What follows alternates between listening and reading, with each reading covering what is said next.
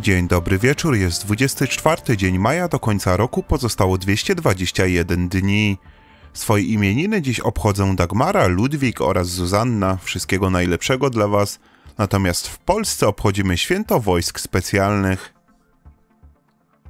Odcinki mojego podcastu możecie również posłuchać na platformie Spotify. Chciałbym również poinformować, że jeśli masz ochotę, to możesz mi postawić wirtualną kawę, żebym nie zasnął przy nagrywaniu kolejnych odcinków. Linki znajdziesz w opisie filmu. Część pierwsza. Kartki z kalendarza Polska. W roku 1945 zostało stoczone jedno z największych starć zbrojnego podziemia antykomunistycznego. Bitwa w Lesie Stockim na Lubelszczyźnie, w której zgrupowanie partyzantów AK pod dowództwem majora Mariana Barnaciaka PS Orlik odniosło zwycięstwo nad oddziałami NKWD, KBW, UB i MO. Atak na zgrupowanie Mariana Barniaciaka nastąpił w południe. Komuniści natarli podzieleni na dwie grupy. Pierwszą zmierzającą od Wierzchoniowa i drugą idącą wąwozem zwanym Gibiennym Dołem. Znakiem rozpoznawczym był podwinięty lewy rękaw kurtek mundurowych. Pod oddziały prowadzili oficerowie sowieccy, lecz przodem szli obeznani w terenie ubecy. Mimo zachowanej czujności pojawienie się nieprzyjacielskiej tyraliery otaczającej półkole koloniem stało się dla partyzantów dużym zaskoczeniem.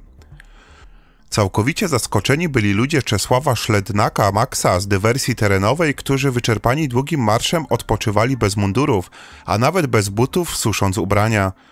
Naprzód przed tylarierą wysunęły się samochody pancerne i transportery otwierające huraganowy ogień z ciężkiej broni maszynowej. Ludzie Maxa odpowiedzieli na atak chaotycznym ogniem. Podczas próby uporządkowania obrony dowódca został ciężko ranny dwoma pociskami w przedramię i klatkę piersiową.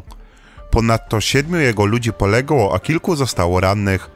Coraz słabiej odpierających ataki partyzantów Maxa wspomógł drugi pluton pod dowództwem porucznika Świta, atakując we flankę nacierających NKWDzistów. Działania te zachwiały natarciem, ale nie powstrzymały go. Drugi samochód i transporter przedarł się w okolice kwater skrobowioków, którzy przywitali je zmasowanym ogniem.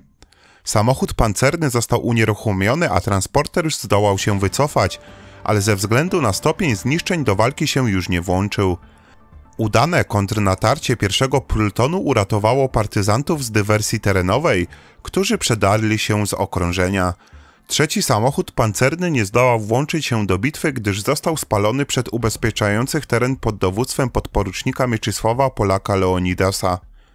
Po rozproszeniu przez pierwszy pluton Tylariele sowieckiej wierny ruszył w stronę, gdzie walczył wraz ze swym pocztem Orlik, otaczając sowiecką tyralierę, który pierwotnie wraz ze sztabem kwaterował na okrąglicy. Przełomowym momentem bitwy okazało się wydarzenie, podczas którego grupa ludzi prowadzona przez Mariana Barnaciaka Orlika, w skład której wchodzili spokojny mściciel, nieczuja i czarny, idąc ścieżką pod górę na szczyt zalesionego zbocza, całkiem przypadkowo natknęła na ośmiu ludzi w sowieckich i polskich mundurach z podwiniętymi lewymi rękawami, którzy stanowili dowództwo grupy operacyjnej. Byli to m.in. naczelnik Wydziału do Walk z Bandytyzmem, oraz zastępca PUBP w Puławach porucznik Aleksander Legienza PS Armata. Obydwie grupy zbliżyły się do siebie i przystanęły. Po rozpoznaniu się Orlik wraz z kompanami otworzyli ogień. Po stracie dowództwa wśród napastników zapanowała całkowita dezorientacja i chaos – Orlik, początkowo okrążony przez NKWD i UB, wyrwał się z pętli i nakazał manewr okrążający. W ten sposób udało się zepchnąć wycofujących się Sowietów do wąwozu zwanego Zadolem, gdzie poszczególne grupy NKWDzistów były likwidowane.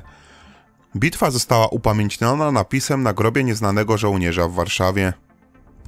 Rok 1988 Podczas rozbiórki kamienicy w Środzie Śląskiej została odkryta i rozgrabiona druga część tzw. Tak skarbu średzkiego.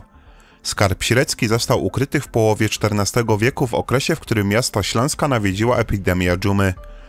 Według badań historyków zajmujących się jego pochodzeniem były prawdopodobnie własnością bogatego bankiera żydowskiego Mojżesza, który w 1348 roku dokonał we Wrocławiu korzystnej dla siebie transakcji pożyczkowej – w wyniku której król czeski Karol IV Luksemburski zastawił u niego znaczną część swoich kosztowności w zamian za wsparcie finansowe starań o koronę cesarską. Podczas czarnej śmierci Mojżesz w obawie przed prześladowaniami opuścił Środę Śląską i nigdy już do niej nie powrócił. Nie odzyskał też zakopanego w piwnicach swojego domu skarbu. Po raz drugi na skarb średzki natrafiono 24 maja 1988 roku podczas rozbiórki kamienicy przy ulicy Daszyńskiego 14. Nowe odkrycie, znacznie większe od poprzedniego, stało się szybko lokalną sensacją, która ściągnęła na miejsce znaleziska rzesze przypadkowych osób poszukujących srebra i złota. Z ruin piwnic domu, zanim zareagowały odpowiednie władze, wyniesiono znaczną część monet i biżuterii. Z czasem pojawiała się także informacja, że precjoza ze skarbu średzkiego można znaleźć na wysypisku gruzu zlokalizowanym na terenie Miejskiego Ośrodka Sportu i Rekreacji imienia 30-lecia PRL. Tam także pojawili się poszukiwacze, którzy przeszukiwali hałdy gruzów w nadziei znalezienia czegoś drogocennego. Dopiero po reakcji lokalnych społeczników rozpoczęły się oficjalne wykopaliska. Początkowo prowadzono je z udziałem młodzieży szkolnej i słuchaczy szkoły milicyjnej z Wrocławia. Dopiero później pojawili się w Środzie Śląskiej Zawodowej archeolodzy. Nie udało się jednak przeciwdziałać poszukiwaniom prowadzonym przez osoby postronne. Władze lokalne zarządziły więc akcję skupowania znalezisk od przypadkowych znalazców. Nie przyniosła ona jednak zadowalających rezultatów i w sprawę skarbu średzkiego włączyła się milicja oraz prokuratura. Z apelem do osób przywłaszczających sobie monety i inne drogocerne przedmioty wystąpił minister kultury i sztuki Aleksander Krawczuch, który zaoferował za każdą oddaną rzecz nagrodę w wysokości trzykrotnej wartości kruszcu. Wiele osób na tę propozycję przystało, część jednak nie zareagowała. W konsekwencji milicja obywatelska zorganizowała operację poszukiwawczą o kryptonimie Korona, która objęła obszar całej Polski. W jej wyniku doszło do postawienia zarzutów kilku osobom i procesów karnych. Większość osób winnych zaniedbań ze względu na ogłoszoną amnestię unikła kary, a afery te ujawnił w książce reportażu Miasto Skarbów reporter i dokumentalista Tomasz Bonek. Pomimo podejmowanych prób nie udało się odnaleźć wszystkich skradzionych elementów skarbu średzkiego. Co kilka lat pojawia się w mediach informacja o odzyskaniu lub pozyskaniu przedmiotów do niego należących. Ze skarbu odkrytego 24 maja zinwentaryzowane złote precozje, a także 39 złotych monet oraz 3924 srebrnych.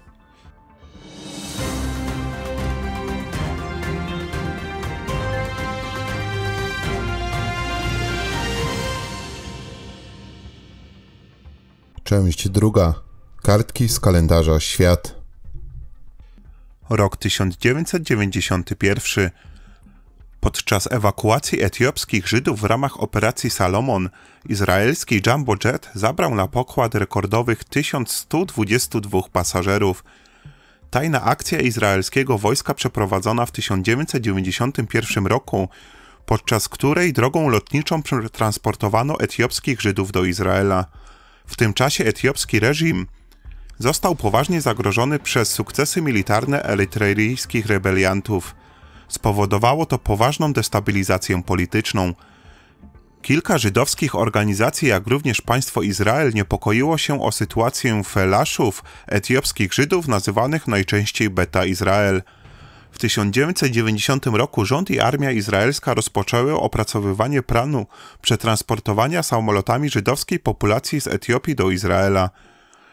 W ciągu 36 godzin przewieziono 14 325 osób będących członkami plemienia Beta Izrael.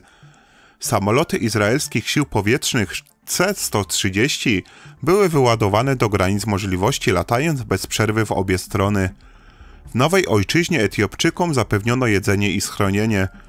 Po zakończeniu akcji okazało się, iż w jej wyniku przetransportowano dwa razy więcej członków Beta Izrael niż podczas wcześniejszych operacji Mojżesz i Jezue razem wziętych. Podczas operacji Salomon pobito światowy rekord przewozu pasażerskiego. 24 maja 1991 roku samolot Boeing 747-400 izraelskich linii lotniczych zabrał 1122 pasażerów. Rok 2002. Prezydenci Władimir Putin i George W. Bush podpisali w Moskwie traktat o redukcji strategicznej broni ofensywnej. Umowa podpisana 24 maja 2002 roku w Moskwie podczas szczytu George'a Busha Władimir Putin. Zapowiadała ona redukcję liczby głowic jądrowych do poziomu 1700-2200 dla obu stron do 31 grudnia 2012 roku oraz potwierdzenia ważności układu START. SORT to jedna deklaracja, a nie wiążący układ międzypaństwowy, brak mu mechanizmów weryfikacji i kontroli przestrzegania umowy, zastąpiona przez układ New START. To wszystko na dziś. Bardzo dziękuję za uwagę. Jak zwykle życzę Ci wszystkiego dobrego i zapraszam jutro na kolejny odcinek kalendarium o godzinie 20, a tymczasem dzięki wielkiej narka. Kalendarium. Zbiór wydarzeń historycznych. Zostaw subskrypcję, łapkę oraz komentarz. Codziennie nowy odcinek.